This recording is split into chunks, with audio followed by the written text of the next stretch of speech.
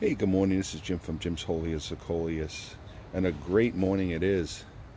Uh, one thing that Coleuses really love is morning sun. Uh, if you if you buy a Coleus store and so forth, it almost always says uh, to make sure it gets some sun, particularly morning sun, or do you where you're going to plant. If you're going to plant your Coleus, you buy a pot of Coleus where do you want to put it? And it says try to put it in a well-drained area. Well drained that's like a given but put it in an area that gets good morning sun and there's nothing like morning sun. So I'm gonna do a quick video on how I go about making these big huge planters. Now I have these big concrete planters I purchased years ago and every year I design um, I throw in four three four coleus four usually five sometimes coleus around the perimeter and knowing that in by July I have a big full coleus and that just keeps going and keeps giving back. So this is basically how you can do it and you can do this. They don't have to be big concrete planters like this although this is great because this really provides great uh, well draining uh, it's a well draining um, pot. It's a tall pot so you don't ever have to really worry about root rot so these stay out during thunderstorms, so forth. I don't move them. Uh, by, by July, these are pretty well anchored in. Um, so by July, June, July, August, over the summer, this is staying. And uh, they're, they're pretty well um, anchored in. So now uh, the difference between these two pots here on my deck is this one here is next to a Rose of Sharon so this one gets a, a, a, more shade, but it gets, I, I get really great um, results over here. It's just perfect because the sun, it, it, does get some of this morning sun through the, the plant and uh, through the Rose of Sharon tree, but then in the afternoon it gets afternoon sun. But this still provides a little bit of uh, of shade. So um, placing your coleus in an area like such as this is ideal. And as you can see, I mean, it's just, it's early June and this thing has exploded. And I have to do some trimming to get it uh, evened out. And I have some younger coleuses that have to catch up. So I make sure I trim a lot down here to keep that Get, give that fella a chance to show herself. And I got some jitters coming in. And these are just wonderful. There's a finger paint sticking in there. And these will all fill out. I'll keep this trimmed down. Give these a chance to catch up. And this is going to be, it already is, but it's going to be a magnificent coleus. So this is how you do it. Now you have these, if you have large planters like this, they don't have to be concrete. Um, I'm going to show you next uh, some smaller, cheaper plastic pots that I've had over the years. And it's the same concept. Uh, I think that two videos ago I posted um, on this. And if you look back at that and then you look at it now, inside of just a couple of weeks, you see the, the large, I mean, the, the really, the, the growth is unbelievable. And these have to be trimmed still. See all that new growth coming in? So that has to be trimmed. This is what you trim. These here, see how they're kind of sticking out into these other plants? Don't be afraid to do it. It's not going to hurt. So I'm going to get rid of this, this, and these two for now. And it, and it, it's like, oh my God, but that's that's the plant. But it's going to get these other leaves to come in, and then eventually your whole plant is going to be.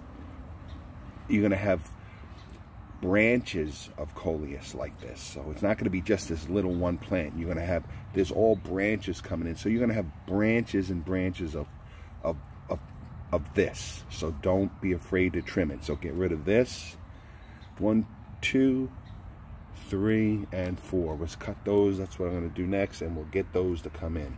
And it gives this plant the same thing. I'm going to trim here. And it gives all that undergrowth a chance to come in. Same with that. And that's how you make these huge, this is a, a, a pot, I guess I got it at Lowe's five, six years ago. and it serves the perfect uh, a perfect you know for this uh, for making these huge pots of coleus and again I use good quality Miracle-Gro soil um, and I fertilize it's important to fertilize once these things get going like this I have the fertilizer pellets in there um, but once a month fertilize whether it's the Miracle-Gro plant general plant mix uh, the powder mix you mix in water but just give it fertilizer once a month. Once they start growing like this get that fertilizer in there. Once they're and then once they're established and they start getting bigger and you're trimming them give it that fertilizer. It'll do wonders. So there's another little one over here. This one's a little slower because the coleuses were smaller. But again this one I'm excited about. That is beautiful color. I did trim that one already. And it's just time. I mean they you know they they get these because they're small and they're outside i don't move these they get a little beat up initially but they're they're doing fine and they're gonna in another week or so they're gonna be even more mature and they'll be able to withstand a little more of the weather. So and finally over here this was a cutting uh, this is really just a rooting from last year from the mother plant. And um, let me turn around. Again, this is just a cheap plastic planter. And it's a pretty magnificent looking Viance coleus. Lots of new growth coming in. I just trimmed some of the tops. You got to keep doing that. And uh, moved it around. You see all that new growth coming in because this side is a little lopsided. This is the no nature of the way the uh, the coleus was. I, I believe a branch broke off of it, so uh, you got that growth coming in. But I'm going to trim the tops. But you can see all that new growth coming in. She's fertilized well. She's drained well. She stays out. Thunderstorms or heavy rain, she's fine. You can see that's an older coleus. You can see that that bark. That's when what happens when they get older. It's almost like a tree. And this is a real healthy plant. And another, my God, it's already exploding. So, and it's another important thing really quick. And I'll just use this as an example. Uh, now this one, obviously, again, just as I said, I'm purposely keeping this out towards the sun because I want, I want these, this new growth to fill in. But once this is starting to fill in, every couple of days, once a week, whenever I get around to it, I rotate all of my pots around and it's just it's good it's a number of things. It's good it gives the it, it, it makes the plant grow evenly because they they they swing towards the light towards the sun they follow towards the sun. And as a as a you know landscape you walk by and it, you, you, get a chance to look at the you see a different aspect of the plant. So and you can see here you got some damaged leaves and some holes. These they get beat up now but I got all that growth coming in so I've got some trimming to do later. All right, so if you have any pots, uh, larger pots, if um, you don't have to have five or six. If you have four or five coleus plants that you really like, um, just do put the four, three or four around the perimeter. Make sure you got some good soil. Um, give her some, I mean, I don't necessarily water these myself because of the rain that we're getting, but I do have a pot and here's my my cat Maximus, who's uh, who's out hunting in the yard. He's about ready to come in.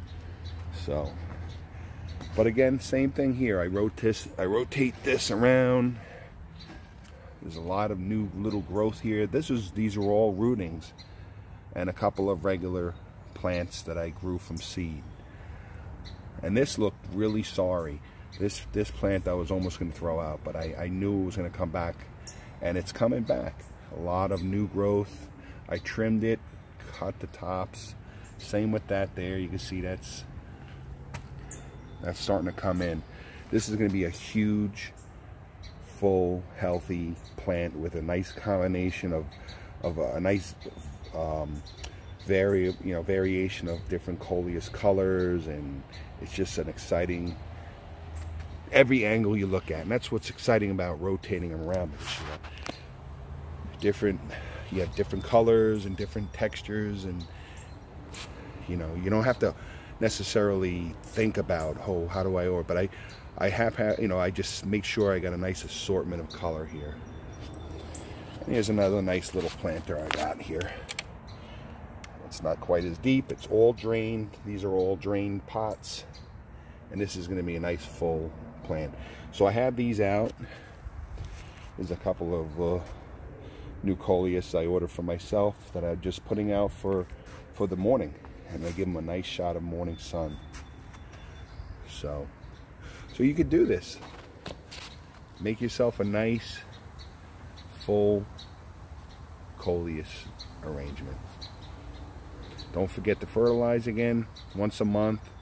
Just straight uh, general purpose Miracle-Gro in the in the green box or the pellets, the time release fertilizer pellets or so, uh, or regular Miracle-Gro pellets once a month.